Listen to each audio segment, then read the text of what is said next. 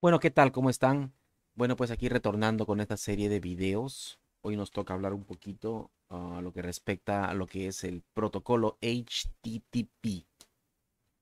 Bueno, HTTP es un protocolo muy famoso. Necesitan ustedes, digamos, es estar un poquito familiar con este protocolo porque lo van a ver totalmente, eh, prácticamente en todas las aplicaciones. En todos los ambientes se va a ver este, este protocolo importantísimo hoy en día, ¿no?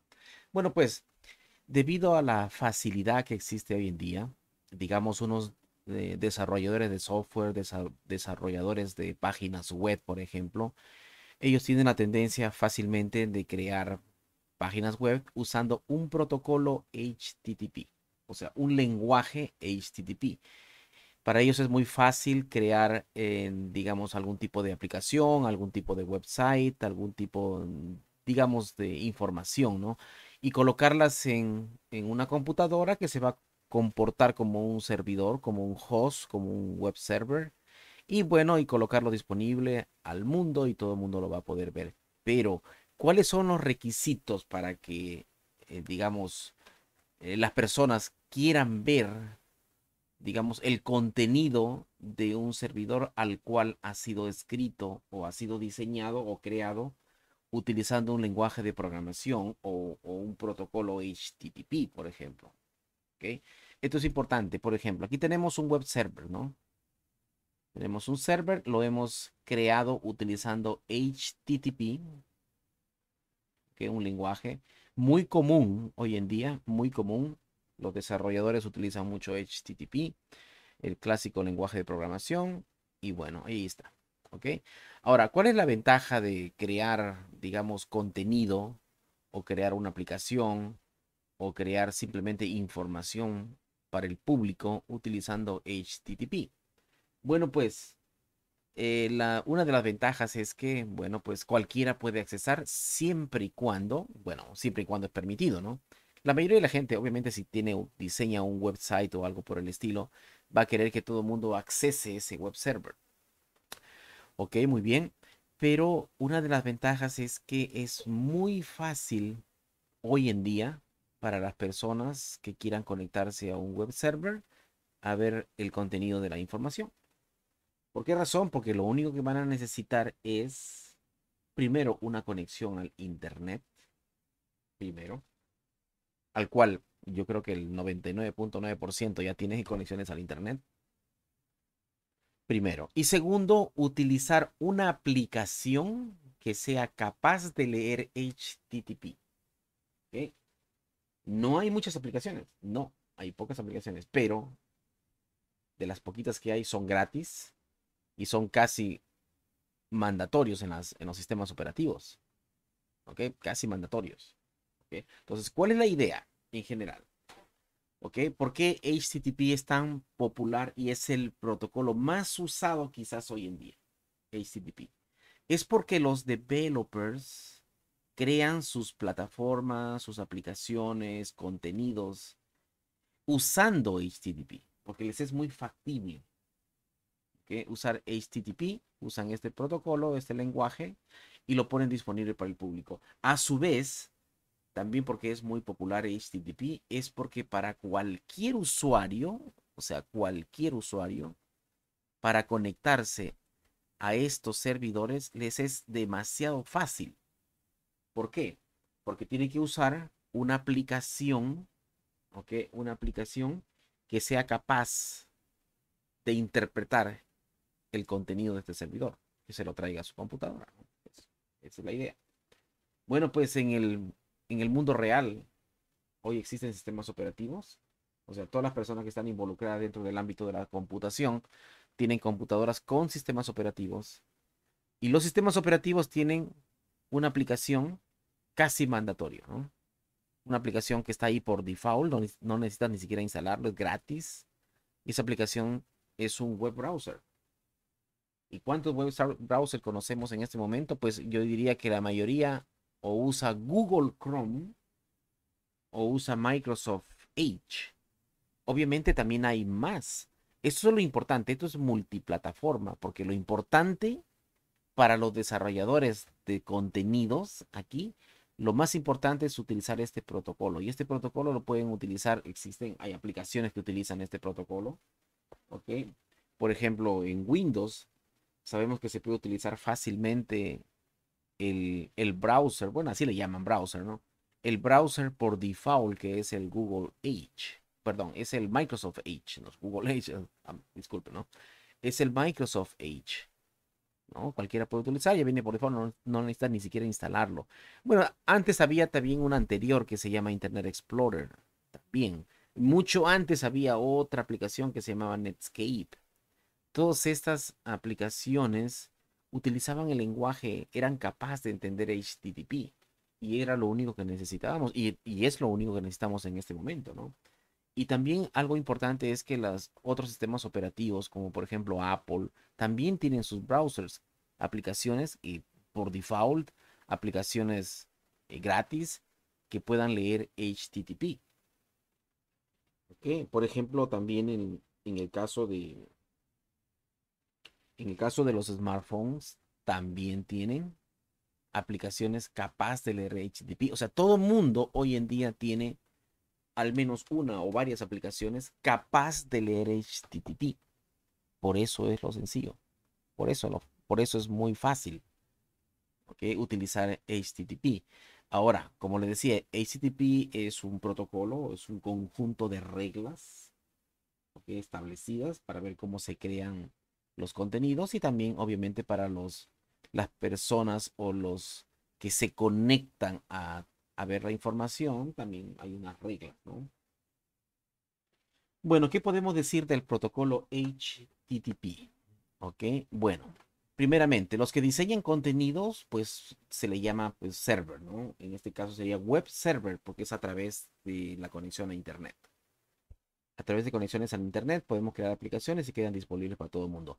Clients, ¿quiénes son los clients? Los que usan, los que usan aplicaciones como los browsers, de tal manera que son capaces de traerse ese contenido de un servidor pues a su plataforma, ¿no? ¿Ok? En este caso, por ejemplo, asumiendo que estamos utilizando Windows, podemos utilizar Google Chrome porque podemos hacer, bueno, podemos conseguir esa aplicación gratis y muy fácil si nos gusta Google Chrome o podemos utilizar el default que es básicamente el Microsoft Edge. ¿Ok? Entonces, sabemos que estas aplicaciones son capaces de leer eh, básicamente contenido de web server. Ok, si ustedes se dan cuenta, cuando ustedes se van, por ejemplo, ejecutan eh, uno de los browsers, ejecutan, por ejemplo, Google Chrome y teclean el contenido de un web server, por ejemplo, www.cisco.com, automáticamente en la aplicación se adhiere el HTTP. ¿Por qué? Porque es el protocolo que asume que estás usando que asume que estás usando y, por lo tanto vas a utilizar una aplicación que se llama pues request, ¿no? Cuando uno teclea eh, una página web, está haciendo un request básicamente a un servidor específico, porque todos los servidores tienen un nombre, ¿no? Un nombre en vez de una IP address. Lo puedes hacer también vía IP address si quieres. Porque al final de cuentas lo que tienen estos servidores es una IP address, un public IP address, que es ruteable en el Internet. Bueno, entonces los, las personas que tienen sus sistemas operativos, sus computadoras, tienen la aplicación correspondiente que es un web browser, digamos Google Chrome. Con el Google Chrome pueden conectarse básicamente a cualquier servidor del mundo, a cualquier web server del mundo, ¿no? Utilizando ya sea un domain name, por ejemplo cisco.com, o el IP address de ese servidor es obvio que vamos a preferir utilizar, utilizar el domain name por la facilidad, ¿no? Uno no se olvida cisco.com, pero sí puede olvidarse fácilmente una dirección pública de IP. Entonces, la idea del protocolo HTTP es básicamente dos cosas, crear un web server utilizando este lenguaje y utilizar, digamos, a un conector, o sea, alguien que se va a conectar, o sea, es un client comúnmente le llamamos client. Client es el que se conecta al web server utilizando una aplicación capaz de leer HTTP. Ya lo demás es interno. Por ejemplo, cuando uno teclea el nombre, el, el domain name del web server, obviamente está utilizando una operación, ¿no? Una operación que se llama get, ¿no? Algo por el estilo, ¿no? O sea, o un request. Está haciendo un request. Por ejemplo, aquí, aquí el request puede ser eh, cisco.com. ¿Ok? Entonces, cisco.com quiere decir que te estás conectando desde los millones de servidores web server que existen en Internet, te estás conectando a uno en particular, al que se llama cisco.com, que tiene un public IP address, pero en este, en este momento es transparente para ti porque no te importa, porque hay detrás, detrás de todo eso hay un sistema de traducción que es un DNS server que traduce el domain name en IP address, en public IP address en este caso particular. Bueno, ustedes cuando teclean el nombre del domain están haciendo un request. El request le llega al web server, al único web server capaz de leer esto, porque es el único que tiene cisco.com. Y bueno, lo que hace el web server le manda lo que es el homepage, ¿verdad? El homepage. Y bueno, el homepage tú ya lo tienes aquí. A partir de aquí empiezas a navegar a navegar sobre la página que te ha mandado, la página de cisco.com, dándole clic a los links y estableciendo otra, otro request más y así se la pasa haciendo request y request. Y algo importante que destacar en, con respecto al protocolo HTTP es que es un protocolo del tipo stateless. ¿Y qué quiere decir que, que sea del tipo stateless? Es stateless quiere decir que no recuerda nada. O sea, si el cliente, por ejemplo, aquí se va hace un request www.cisco.com, no quiere decir que lo recuerda o no quiere decir que el web server lo recuerda quién es para establecer una comunicación en completamente afín. O sea, no. Este hace, un, hace una petición y si le viene la respuesta o no le viene, no pasa nada. Ya se olvidó. Después vuelve, puede, si quiere volver a conectarse, tiene que hacer otra vez otro request. Eso es lo que es un stateless. El stateless es tú pides y bueno, te lo van a dar como respuesta a lo que pides, pero no, no lo recuerdas. No puedes decir después, bueno, yo te pedí aquí, yo quiero otra vez continuar. No, es como hacer una petición y se acaba. ¿Quieres otra petición? Haz otra vez una petición. Ya Ese es un, protocolo stateless, a diferencia del stateful, que es un poquito más poderoso, que es eh, recuerda prácticamente todo, ¿no? Bueno, eso es lo que es el protocolo HTTP. Haces request, te la pasas haciendo request. ¿Y cómo haces los requests? A través de teclear www.microsoft.com. Ya hiciste otro request. ¿Ok? Obviamente eso le va a llegar al servidor de Microsoft.com. Y el Microsoft.com lo primero que va a hacer es mandarte su homepage. ¿Ok? Su homepage. ¿Ok? Por eso mismo es la facilidad, Por eso mismo la facilidad de utilizar HTTP. Es muy popular hoy en día el protocolo HTTP. Todo mundo, desarrolladores de aplicaciones, están utilizando HTTP por la facilidad de que la gente se puede conectar fácilmente, Entonces, uno se puede conectar al web server fácilmente con herramientas que tiene a la mano que es una aplicación capaz de ejecutar HTTP. Bueno, pues ahí está el, web server, popularísimo. Google Chrome, popularísimo. Microsoft Edge, Safari, etcétera, etcétera. Es muy accesible. Por lo tanto, uno utiliza esa aplicación capaz de leer HTTP para conectarse a las aplicaciones desarrolladas por desarrolladores. Y bueno, pues nosotros hacemos nuestra actividad, ¿no? Una cosa importante también que decir acerca del HTTP, tomarlo en consideración, es que la comunicación entre cliente y servidor es en clear text. Quiere decir que es en texto puro. O sea que si la comunicación es a través, aquí dice a través del network, ¿ok? Pero si la comunicación es a través de internet, porque es mucho es a través de internet, ustedes se conectan al, Cisco.com a través de Internet, ya se conectan a Microsoft.com a través de Internet. Entonces, por ahí se están mandando información en clear text, en texto, completito, sin ningún mecanismo de encriptación ni nada por decirlo. Quiere decir que alguien puede, con ciertos mecanismos que existen hoy en día, no tan complicados, con interceptar esa comunicación entre dos puntos, entre un cliente y un servidor, y descifrar todo lo que se están pasando. Por eso mismo existe otro protocolo que se llama HTTPS, Secure HTTP, por la razón de que la información que se, no en cuando se comunican un, un cliente y un servidor, digamos un cliente utilizando un web browser, se comunica a un web server que está en internet. El protocolo HTTP es lo que va a hacer es encriptar esa información. O sea, lo puedes interceptar, interceptar, pero no lo vas a poder descifrar.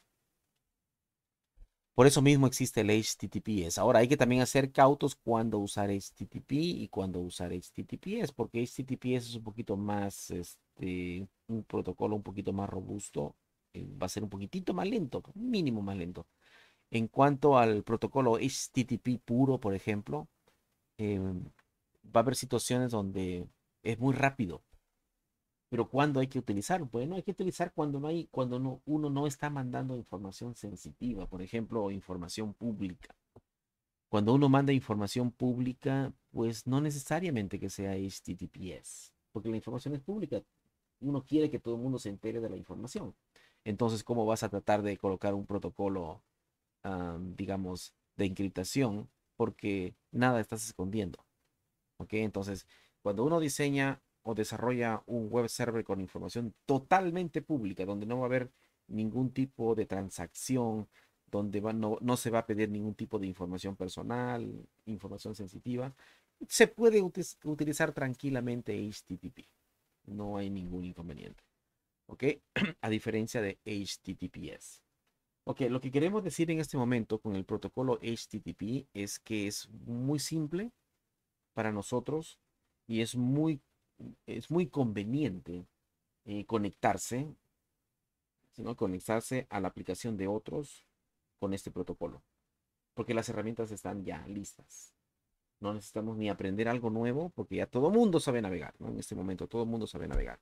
Por lo tanto, es bien difícil enseñarle a alguien cómo navegar. Todo el mundo navega porque es una actividad muy sencilla, muy común y que todo el mundo lo hace intuitivamente y hasta todos los días. Entonces, Primeramente, esa es una de las ventajas, ¿no? Utilizar HTTP. Y segundo, que las herramientas existen. aplicaciones que utilizan HTTP están a la vuelta de la esquina.